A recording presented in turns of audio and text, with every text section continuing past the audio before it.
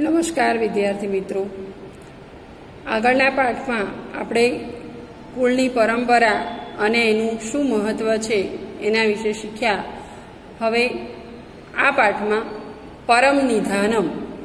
પરમ એટલે શ્રેષ્ઠ અને નિધાનમ એટલે ખજાનો. તો માણસ માટે શ્રેષ્ઠ ખજાનો શું હોઈ શકે એ વિશેની અહીંયા ચર્ચા છે. ઈસવીસનની અગિયારમી સદીમાં માલવ પ્રદેશ, જે હાલનો મધ્યપ્રદેશ છે, ત્યાં રાજા ભોજ થઈ ગયા. અને ધારાનગરીમાં રહીને રાજા ભોજે તે સમયે જેવી કીર્તિ પ્રાપ્ત કરી હતી, તેવી આજે પણ છે.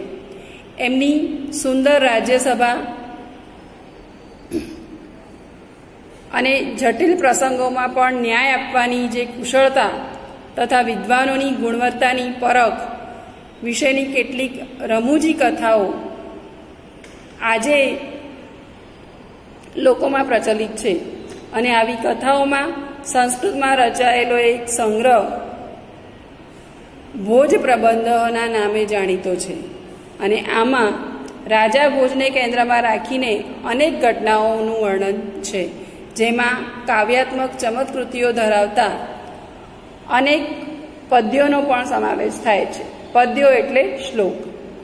આ ઉપરાંત જુદા જુદા સમયગાળામાં અનેક સંસ્કૃત કવિઓએ પોતાની વાતને પ્રસ્તુત કરવા માટે રાજા ભોજને પાત્ર તરીકે સ્વીકાર્યા છે અને ભોજને લક્ષ્ય બનાવીને રચેલી આવી જ એક સંવાદાત્મક કથા અહીં પ્રસ્તુત છે. રાજા ભોજ અને યુવાન પંડિતના સંવાદમાં એક કરતાં બીજા પદાર્થની શક્તિમત્તાને ઉપસાવવાનો ઉપક્રમ છે. ક્રમશઃ તે આગળ વધતો જાય છે અને આ સંવાદ છેવટે સંતોષની વાત આવતાની સાથે અટકી જાય છે. આમ આ સંવાદ એ સંતોષનું મહત્ત્વ આકારી આપે છે. અને આ પાઠનો અભ્યાસ કરતી વખતે ક્રિયા અને કર્તુકારક સમન્વયની વ્યવસ્થાને સમજવાની છે. સાથે સાથે વિવિધ વિભક્તિના નામરૂપોમાં કેવો ફેરફાર થાય છે અને ક્રિયાપદોના રૂપો કેવા હોય છે, તેનો પણ અહીં અભ્યાસ છે. મિત્રો, આ પાઠમાં એક અજાણ્યા યુવકને રાજા જુએ છે અને એને બોલાવીને એનો પરિચય પૂછે છે અને જે રીતે યુવક પોતાનો પરિચય આપે છે, એ જોઈને રાજા ભોજને શરૂઆતમાં એવું લાગે છે કે આ એક ઘમંડી વ્યક્તિ છે અને બંને એકબીજાને એક, એકબીજા કરતાં શ્રેષ્ઠ સાબિત કરવા માટે અલગ અલગ ઉદાહરણો આપે છે. અને એ રીતે છેલ્લે પેલો યુવક જવાબ આપે છે કે, હું સંતુષ્ટ થઈ જઈશ. હું તમારી પાસે કોઈ વાતની માંગણી કરીશ નહીં. અને જ્યારે આવા સંતોષ શબ્દને સાંભળે છે રાજા ભોજ, એ વખતે એ માની જાય છે કે આ વ્યક્તિ ખરેખર વિદ્વાન છે અને પછી ખુશ થઈને એને પુરસ્કાર આપે છે. એ રીતનો પ્રસંગ આ પાઠમાં છે. ચાલો, જોઈએ. ભોજ નામ નૃપતિ વિદ્યાપ્રિય કલાપ્રિય પ્રજાપ્રિયશ્ચ આસિત. નૃપતિ એટલે રાજા. ભોજ નામનો રાજા વિદ્યાપ્રિય કલાપ્રિય અને પ્રજાપ્રિય હતો. એટલે એ વિદ્યા પ્રિય એટલે વિદ્વાન લોકોનું સન્માન કરતો, કલાકારોનું સન્માન કરતો અને પ્રજાના સુખ દુઃખનું પણ ધ્યાન રાખતો. અતઃ તસ્ય રાજસભાયામ દૂરદેશાત અનેકા વિદ્ય વિશારદા પંડિતા સમાગચ્છન્તિ સ્મ. સમાગચ્છન્તિ સ્મ, એમાં સ્મ એ ભૂતકાળ દર્શાવે છે. એટલે કે તેથી તે રાજસભામાં દૂર દેશથી એટલે વિદેશથી અનેક વિદ્વાનો અને પંડિતો ત્યાં આવતા હતા. ભોજ નામનો રાજા વિદ્યાપ્રિય અને કલાપ્રિય હતો અને એ વિદ્વાનોને પોતાના દરબારમાં સ્થાન આપતો, સન્માન આપતો. એટલે વિદેશમાંથી પણ ઘણા વિદ્વાનો એને ત્યાં આવતા? એકદા ભોજ પ્રાસાદસ્ય ગવાક્ષે ઉપવિષ્ટ આસિત એક દિવસ રાજા ભોજ પ્રાસાદસ્ય એટલે મહેલના ગવાક્ષ એટલે ઝરૂખામાં, જેને આપણે બાલ્કની કહીએ છીએ, તો એવી જગ્યામાં ઉપવિષ્ટ આસિત બેઠો હતો. સહ માર્ગે એકમ નવાગંતુકમ અનભિજ્ઞ યુવકમ પશ્યતી. તેણે ત્યાં બેસીને રસ્તામાં એક નવા આગંતુકને, એટલે કે નવા અને અજાણ્યા અનભિજ્ઞ એટલે અજાણ્યા, નવા અને અજાણ્યા યુવકને જોયો. તસ્ય પરિચયમ જ્ઞાતુમ સહ તમ પ્રાસાદે આહ્વયતી. તસ્ય પરિચયમ જ્ઞાતું એટલે તેનો પરિચય મેળવવા માટે અથવા તેનો પરિચય જાણવા માટે તેણે તેને પ્રાસાદે આહવતી એટલે મહેલમાં બોલાવ્યો. તતસ્તયો મધ્યે એવમ વાર્તાલાપ સંજાત. અને એ પછી એ બંનેની વચ્ચે તતસ્તયો એટલે તેમની મધ્ય એટલે વચ્ચે. આ પ્રકારે વાર્તાલાપ થયો અથવા આ પ્રકારે સંવાદ થયો. ભોજ. ભવાન ક વર્તતે?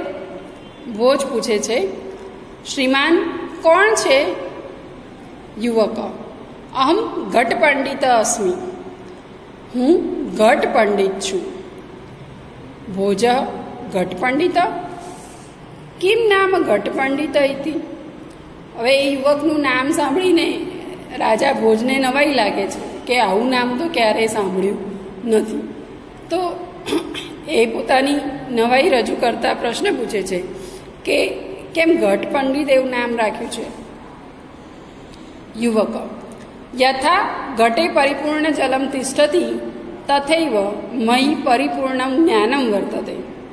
એણે એનો જવાબ આપ્યો કે જે રીતે ઘડો સંપૂર્ણ જળથી ભરેલો હોય છે. એ જ રીતે હું પણ જ્ઞાનથી ભરેલો છું. અતઃ અહમ સ્વાત્માનમ ઘટપંડિતમ મન્યે. અને એટલે જ હું પોતાની જાતને ઘટ પંડિત માનું છું.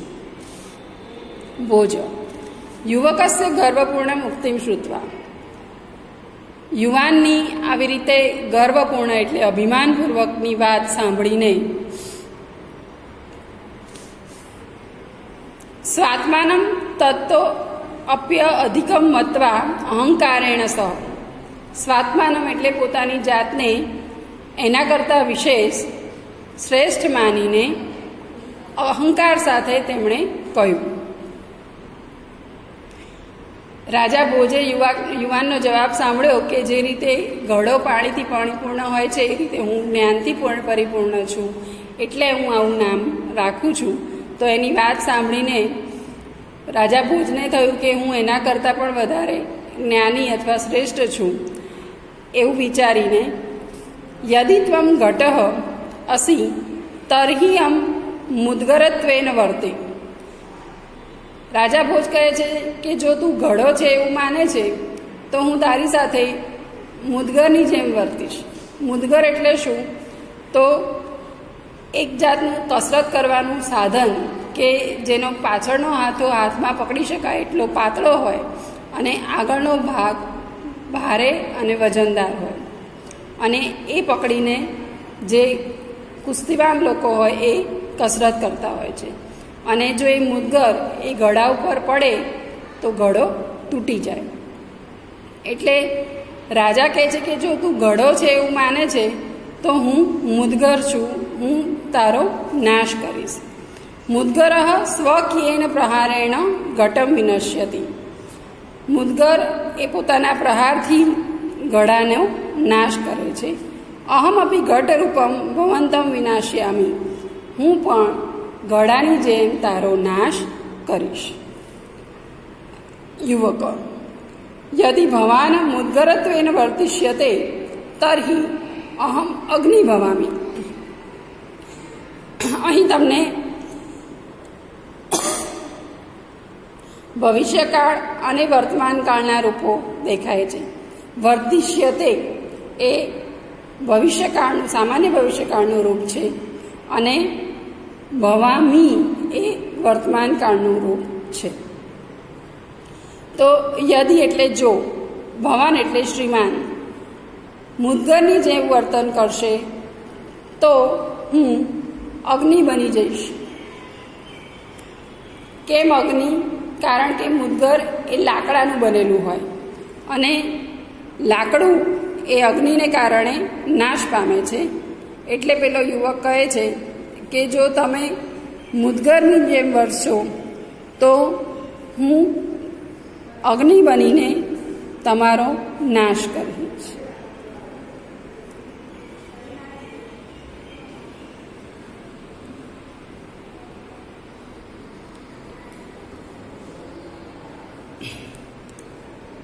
यदि भवान् मुद्गरत्वेन वर्धिष्यते तर्हि अहम् अग्नि भवामि દહન કર્મા અગ્નિ ભૂતવા મુદ્ગરમ ભસ્મ કરીશ્યામી બાળનારો અગ્નિ બનીને હું મુદ્ગરને ભસ્મ કરી નાખીશ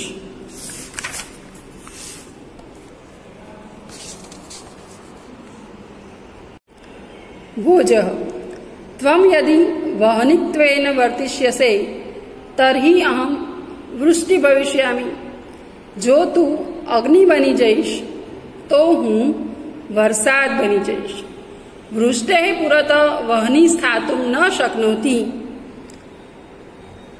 તથા ત્વમપી મમ પુરત સ્થાતુમ ન શક્નોસી જેમ વરસાદ સામે અગ્નિ ટકી શકતો નથી તેમ તું પણ મારી સામે ટકી શકીશ નહીં.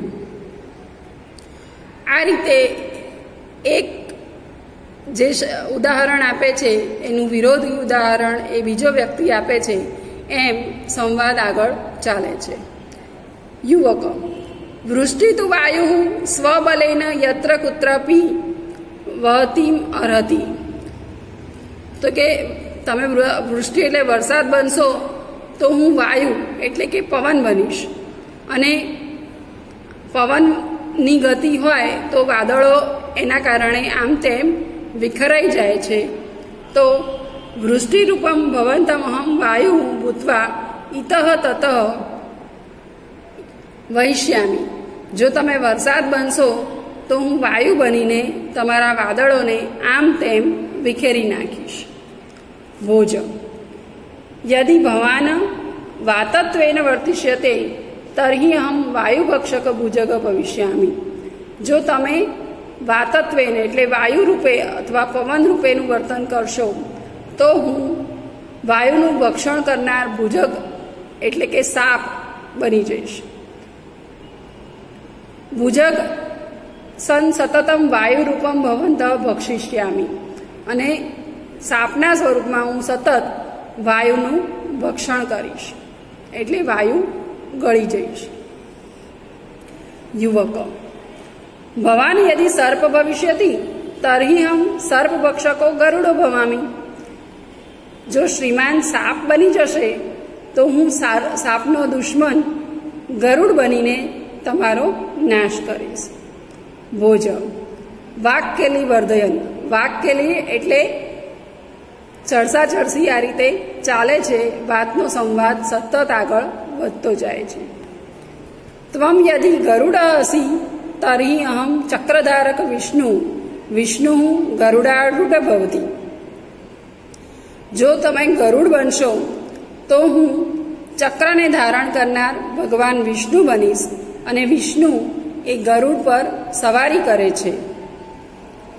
યુવક મનસા વિષ્ણુ પ્રણમ્ય ચ પંડિત પાંડિત્યમ પ્રદર્શ્યમ અગ્રે વધતી ભગવાનનું નામ આવે છે એટલે યુવાન મનમાં જ વિષ્ણુ ભગવાનને પ્રણામ કરે છે, આ એનો વિનય દર્શાવે છે.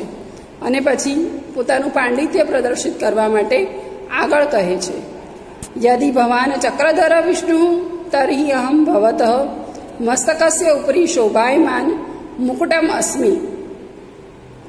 જો શ્રીમાન ચક્રધર વિષ્ણુ બનશે, તો હું શ્રીમાનના મસ્તક પર શોભામાં શોભા આપતો મુગટ બનીશ. મુકુટમ સદા મસ્તકસ્ય ઉપરી એવ સંતિષ્ઠતે અને મુગટ હંમેશા માથાની ઉપર જ રહે છે, તો એ રીતે હું તમારા કરતાં શ્રેષ્ઠ બનીશ. ભોજન યુવકસ્ય પાંડિતમ અનુભવ હવે ભોજને યુવકની પંડિતાઈ એટલે કે યુવકની હોશિયારીનો અનુભવ થાય છે. તરહી મુકુટસે ઉપરી શોભામાન પુષ્પ અહમ. હવે છતાં પણ રાજા આગળ જવાબ આપે છે કે જો તું મુગટ બનીશ, તો હું મુગટની ઉપર શોભા આપતું પુષ્પ એ બનીશ. એવમ અહમ અધુના તવ પરી સ્થાસ્યામી અને એ રીતે હું તારા કરતાં પણ શ્રેષ્ઠ સાબિત થઈશ. યુવક, ભવાન યદિ પુષ્પમ ભવિષ્યતિ, તર્હિ અહમપી ભ્રમરો ભૂત્વા તવ પુષ્પસ્ય ઉપરી સ્થાસ્યામી. શ્રીમાન જો પુષ્પ બનશે, તો હું પુષ્પ ઉપર રહેલો ભમરો બનીશ અને એ રીતે શ્રેષ્ઠ સાબિત થઈશ. ભોજ, એવમ ભવાન દ્વિરેફ તરહી અહમ સૂર્ય. જો તમે ભમરો બનશો, તો હું સૂર્ય બનીશ. પુસ્તકસ્ય અંતઃસ્થિત ભ્રમર સૂર્યાસ્ત કાલે બંદી ભવતી. અહમપી ત્વામ બંદિનમ કરિષ્યામી. ભમરો અને સૂર્યનો શું સંબંધ છે? તો જ્યારે ભમરો એ ફૂલ ફૂલ પર બેસે, એનો રસ ચૂસવા માટે, એ જ વખતે જો સૂર્યાસ્ત થઈ જાય, તો એ ફૂલની કળી વસાઈ જાય છે, બંધ થઈ જાય છે. અને એટલે એ ભમરો એમાં બંદી બની જાય છે અથવા એ પૂરાઈ જાય છે. એટલે રાજા કહે છે કે જો તમે ભમરો બનશો, તો હું સૂર્ય બનીશ અને એ રીતે તમને બંદી બનાવીશ. યુવકો, અહો, ભવાન સૂર્ય સ્તરહી અહમ મહાપ્રભાવી રાહુ. જો શ્રીમાન સૂર્ય બનશે, તો હું વધારે પ્રભાવશાળી રાહુ બનીશ. કેમ રાહુ? તો રાહુ અને કેતુને કારણે સૂર્યગ્રહણ અને ચંદ્રગ્રહણ થાય છે એવી આપણી માન્યતા છે. અને રાહુસ્તુ સૂર્યગ્રસ્તે. રાહુ એ સૂર્યનું ગ્રહણ કરે છે. સૂર્ય એનાથી ઢંકાઈ જાય છે. ભોજ વિચિંતે ઉચ્ચઈ સોરી, કિંચિત ઉચ્ચઈ ભોજ કંઈક મોટેથી બોલે છે. ભવાન રાહુશ્ચ ઇતિ અહમ રાહુરૂપાય તુભ્યમ દાનમ દાસ્યામી જો તું રાહુ બનીશ તો રાહુરૂપ એવા તને હું દાન આપીશ દાન ગ્રહણેન તવાર્ધ ગર્વમ નિશ્ચયન શાંતમ ભવિષ્યતિ અને એ દાનનું ગ્રહણ કરીને તારો ગર્વ ચોક્કસ શાંત થઈ જશે. તારું અભિમાન ઓછું થઈ જશે. યુવક. વિહસ્ય ચાતુર્યેણ.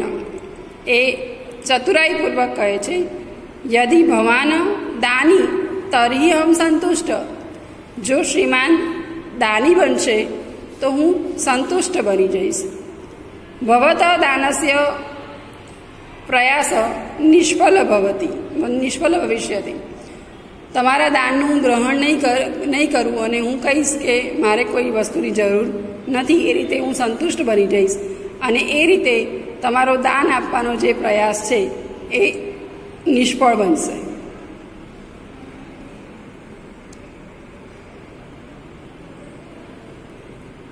સર્વત અલુબ્ધ અહમ ભવત દાનમ ન ગ્રહિષ્યામી. બધી જ પ્રકારની લાલચ છોડીને હું સંતુષ્ટ બની જઈશ અને તમારા દાનનું ગ્રહણ કરીશ નહીં. એવમ ઉત્તરોત્તરમ વિવાદતરયો ભોજ યુવકયો મધ્યે યદા સંતોષસ્ય વિષય સમુપસ્થિત, તદા સમાગતે સંતોષે સર્વશાંતમ ભવતી, ઇતિ વચન અનુસાર વિવાદો અપી સ્વયમેવ શાંત. આ પ્રમાણે ઉત્તરોત્તર વાદ વિવાદ ભોજ, ભોજરાજા અને યુવક વચ્ચે ચાલતો હતો અને એ દરમિયાન સંતોષનો વિષય ઊભો થયો. અને જ્યારે સંતોષ આવી જાય છે, ત્યારે બધી જ પરિસ્થિતિ શાંત થઈ જાય છે. એ વચન અનુસાર આ સંવાદનો પણ હવે અંત આવે છે. કારણ કે તમારી પાસે જ્યાં સુધી કંઈક વસ્તુ મેળવવાની ઈચ્છા અને લાલસા છે, ત્યાં સુધી એને મેળવવાના આપણા પ્રયત્નો પણ ચાલુ રહે છે. પણ જે ઘડીએ આપણું મન સંતુષ્ટ થઈ જાય છે કે મારી પાસે બધું જ છે, હવે મારે કશાની જરૂર નથી, એ જ ઘડીએ આપણું મન પણ શાંત થઈ જાય છે. એટલે જ્યારે સંતોષ આવી જાય છે, પછી કોઈ જાતની ચિંતા કે ઉચાટ રહેતો નથી. અને એટલે જ અહીંયા સંતોષના વિષયની વાત આવી, એટલે એ બંને વચ્ચેનો સંવાદ પણ પૂરો થયો. અંતે ચતુરમ જ્ઞાનેન ગુણેન ચ, ઉપેતમ તમ પંડિતમ યુવકમ પ્રણમ્ય ધારાધિપતિ ભોજરાજ અવદત અને આ રીતે જ્ઞાન અને ગુણથી ભરપૂર એવા યુવક પંડિતને પ્રણામ કરીને ધારાદેશના રાજાએ કહ્યું, અહીં ઘટ પંડિત. અરે ઘટ પંડિત. હવે એને એના નામથી જ બોલાયા. ગુણ પૂજકે ધારા દેશે ભવત સ્વાગતમ અસ્તિ ગુણોના પૂજક એવા ધારા દેશમાં તમારું સ્વાગત છે. ભવાન વિજયી જાત. તમારો વિજય થયો છે. સંતુષ્ટ જનમ ન કો અપી. પરાજય તુમ અર્હતી. જે સંતુષ્ટ માણસ હોય, એને કોઈ પરાજય આપી શકતું નથી. તો એ રીતે તમારો વિજય થયો છે. યતો હિ સંતોષ એવ પુરુષસ્ય પરમ નિદાનમ વર્તતે. તેથી જ કહેવાયું છે કે સંતોષ એ જ પુરુષનો શ્રેષ્ઠ ખજાનો છે. એટલે આપણે પણ આપણી પાસે જે છે, જેટલું છે, એમાં સંતોષ માનીને ખુશીથી અને આનંદથી રહેવું જોઈએ તો આપણા મનને પણ શાંતિ મળશે. અસ્તુ.